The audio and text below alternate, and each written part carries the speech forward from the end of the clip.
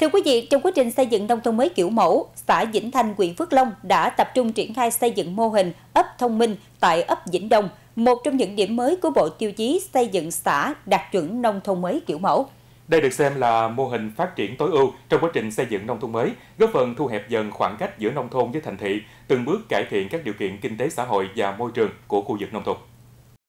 Hiện nay trên địa bàn ấp Vĩnh Đông, xã Vĩnh Thanh có trên 90% người dân sử dụng điện thoại thông minh hoặc thiết bị điện tử có kết nối Internet. Có 3 điểm Wi-Fi miễn phí đảm bảo phủ sóng rộng khắp trên địa bàn ấp. Nhiều người dân cũng đã được hướng dẫn cài đặt sử dụng các dịch vụ số phục vụ nhu cầu thiết yếu như sử dụng các tiện ích thanh toán tiền điện nước, xây dựng thương hiệu sản phẩm, dịch vụ ngân hàng. Vấn đề mà giao dịch cái điện thoại mà qua cái hệ thống thông tin mà giữa à, bưu điện, à, điện là điện lực cái ấy là thanh toán tiền bạc không khỏi cần đi đến cái là nơi để để mình nạp tiền đó cũng thuận tiện cho bà con với bản thân gia đình thôi. Các điểm trọng yếu trên địa bàn ấp đều được lắp đặt nhiều camera an ninh giám sát, đồng thời nhiều hộ dân cũng tự trang bị camera giám sát, kết nối, điều khiển thông qua điện thoại thông minh tại nhà, góp phần đảm bảo an toàn trật tự trên địa bàn. Từ khi mà có được ờ, hỗ trợ trên của công an xã thì gắn camera an ninh đó, rồi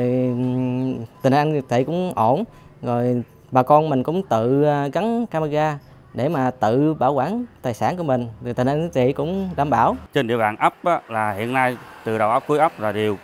bà con mình ai cũng sử dụng wifi miễn phí. Camera gắn trên à, ấp này là rất nhiều trong đó là của nhà nước gắn hai là của người dân. Hiện nay nó đảm bảo tình hình an trật tự trên cái địa bàn. Thời gian tới đó, thì chỗ xã cũng là để nhân rộng ra các ấp còn lại để đảm bảo cho cái tình hình an trật tự cho bà con mình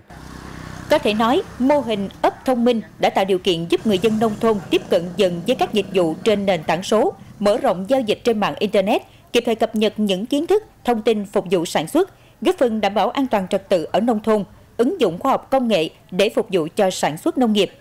Ngoài xây dựng các tiêu chí theo quy định, thì điểm mới của xã nông thôn mới kiểu mẫu giai đoạn 2021-2025 có ít nhất một mô hình ấp thông minh – qua đó góp phần đưa công nghệ số vào cuộc sống ở nông thôn với mục đích xây dựng chính phủ số, kinh tế số, xã hội số và hướng tới xây dựng nông thôn mới thông minh giai đoạn 2026-2030.